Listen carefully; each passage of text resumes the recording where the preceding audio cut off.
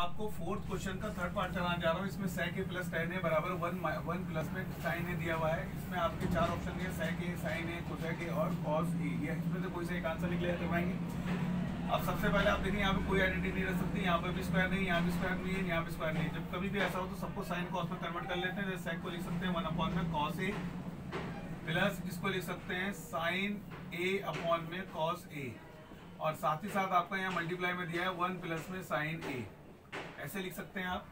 आपको पता है यहाँ पे आप एल्सियम ले सकते हैं। कॉस ए कॉस एक जैसे तो एक बार उतारेंगे, ऊपर एज उतार लेंगे।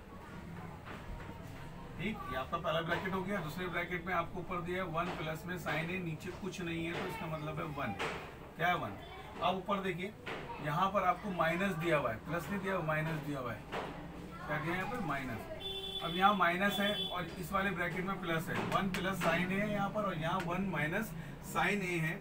तो इस तरह से आप इस क्वेश्चन को अगर सॉल्व करते हैं तो A plus B minus B का फॉर्मूला बनता है इसका मतलब होता है ए का स्क्वायर माइनस बी का स्क्वायर स्क्वायर होल स्क्वायर लगाओ।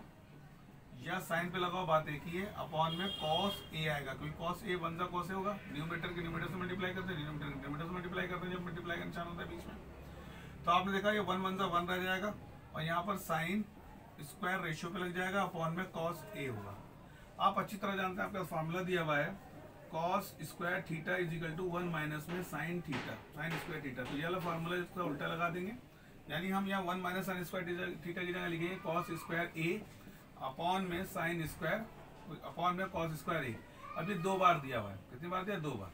यानी दो बार इसे अगर तोड़ के लिखे cos A multiply cos A तो नीचे भी एक कॉस ए है कॉस ए से कॉस ए कैंसिल आउट हो जाएगा तो आंसर आपका कॉस ए आ जाएगा। अब देखिए ऑप्शन में कॉस ए कहाँ दिया? ए में दिया बी में दिया सी में दिया डी में दिया डी में दिया। तो इस तरह से आपका आंसर डी निकल गया चलिए अब अगले क्वेश्चन लास्ट क्वेश्चन चलते हैं आज के।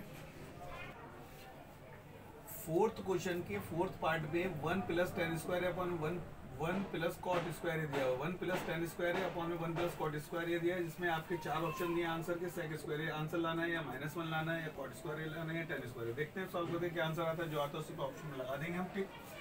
अब आप सबसे पहले सॉल्यूशन में क्वेश्चन उठा रहे हैं। आपको पता है, बिल्कुल सेम फार्मूला आपको यहाँ दिया हुआ है। Tan one plus tan square एक की जगह क्या लिख सकते हो? वन प्लस कॉट स्क्वायर एक की जगह क्या लिख सकते हो? फार्मूला दिया आपको। वन प्लस टेन थीटा का फार्मूला सेक स्क्वायर थीटा होता है, जिसकी जगह यहाँ पर सेक स्क्वायर थीटा की जगह ए प्लेस कर सकते हैं। वन प्लस कॉट स्क्वायर की जगह कोसेक स्क्वायर ए लिख सकते हैं। जब आप ये लिख देंगे तो आपको अब इसे साइन और कॉस में कन्वर्ट करना पड़ेगा। जैसे कि मुझे मालूम है, इसे वन अपॉन में सेक होता तो वन अपॉन कॉस लिखते हैं तो स्क्वायर है तो यहाँ भी स्क्वायर ए लिख सकते हैं। ठीक इसी तरह से आप क्या करेंगे कोसेक स्क्वायर ए को वन अपॉन में साइन स्क्वायर ए भी लिख सकते हैं।